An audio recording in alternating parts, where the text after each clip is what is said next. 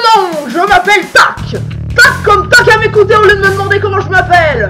Alors, laisse-moi te poser une question. Tu connais Scully Fourberie Parce que si tu connais pas, fonce voir Scully Fourberie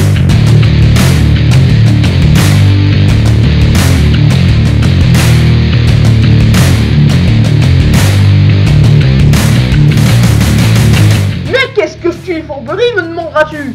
Scully Fourberie est une putain de série de livres pour enfants slash ados. Tu es un enfant slash ado Alors écoute-moi au lieu de te questionner sur ton âge. Mais qui est Scully Fourberie alors?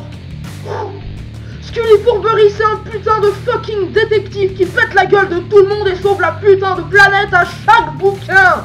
Ouais Ta putain de planète tu te sens concerné maintenant, hein Ah oui, et j'oubliais, comme son nom l'indique très subtilement, c'est un putain de squelette vivant qui a des pouvoirs magiques Alors, il déchire pas ce mec Est-ce que t'es un putain de squelette vivant qui a des pouvoirs magiques, toi Et l'histoire, c'est quoi C'est l'histoire de Stephanie Glenn, jeune fille euh, normale, banale, mais pas autant que vous, bande de moutons qui suite à des événements que j'ai vu la flemme de raconter, regardez sur Wikipédia ou pire merde, fait la rencontre de Scully, le putain de squelette vivant de tout à l'heure, suis un peu merde Qui lui découvrir le vrai monde de la vérité véritable, où la magie existe, mais qui est caché parce que l'existence de la magie doit rester un secret aux yeux des moldus.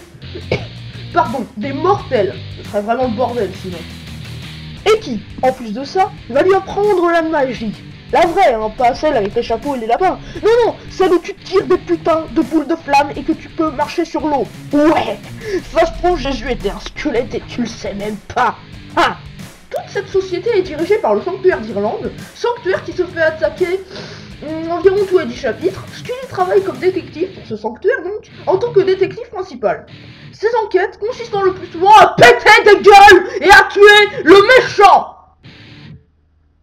Et c'est cool, putain de bordel de merde Les dialogues sont bons Scully sort 19 punchlines par chapitre J'ai compté, j'avais que ça qu'à J'ai compté En tant que détective, vous devez sauver le monde pour la cinquième fois. SVP, ce sera gentil.